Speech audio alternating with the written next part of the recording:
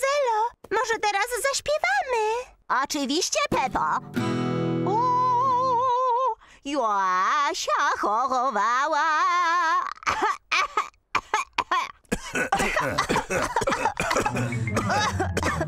Ojej, wszyscy dorośli zarazili się kaszlem Pedra. Tu doktor Burymiś, słucham. Tu świnka Pepa. Wszyscy dorośli zachorowali. Nic się nie martw, Peppo, już jadę. Mm.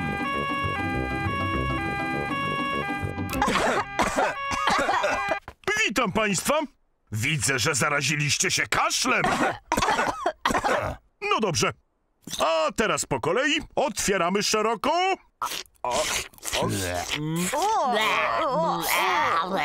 E, smakuje jak stare, brudne.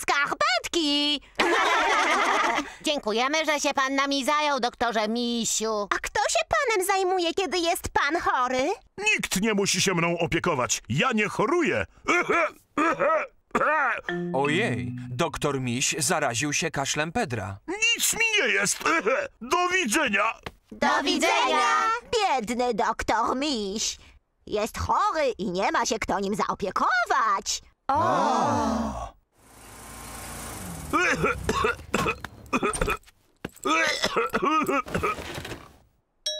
Kto to może być? Dzień dobry. Przyszliśmy się panem zaopiekować. Tu mamy owoce. I miękką poduszkę. A tu mamy lekarstwo. No, smakuje jak marmoladowy jogurt przyprawiony szczyptą starych skarpetek. A ja mam piosenkę, która poprawi doktorowi nastrój.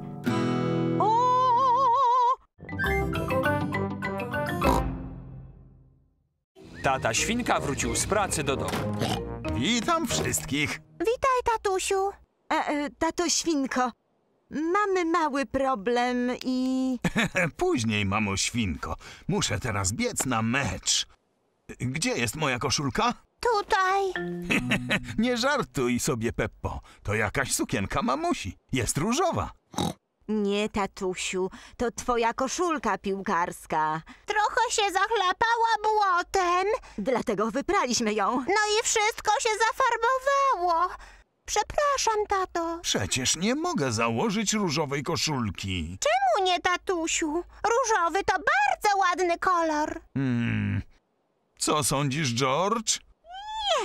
George nie lubi różowego. Przyszli przyjaciele tatusia. Pan Byk, pan Królik, pan Kucyk i pan Zebra. Mu! Czy to ta świnka zagra dzisiaj z nami? Poczekajcie chwileczkę. Spójrz na drużynę. Potrzebuję białej koszulki. Tatusiu, masz białą koszulkę. Zdejmij tylko marynarkę. Widzisz? Fantastycznie. Dziękuję, Peppo. Witajcie wszyscy. Witaj, tato świnko. Niezła koszulka. Bardzo elegancka. Dziękuję. Chodźmy, zacznijmy grać. Tak. Gol! Hurra! Tato, całą koszulkę zabrudziłeś błotem. Oczywiście, Peppo. Koszulki piłkarskie muszą być zachlapane błotem.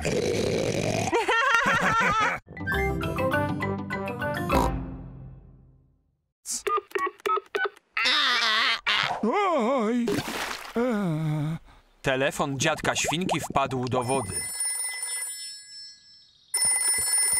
Mówi babcia świnka. Halo? Halo? Halo? Musimy jakoś inaczej przesłać babci wiadomość. Wiadomość dla babci. Poli może polecieć do babci. Doskonały pomysł, Peppo. Nauczę Poli, co ma powiedzieć babci.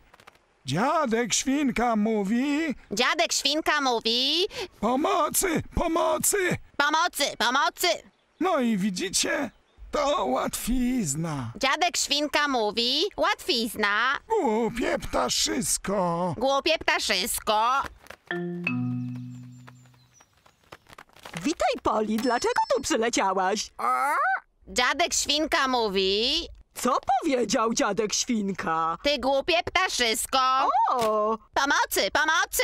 wielkie nieba! Dziadek potrzebuje pomocy! Dziadku psie!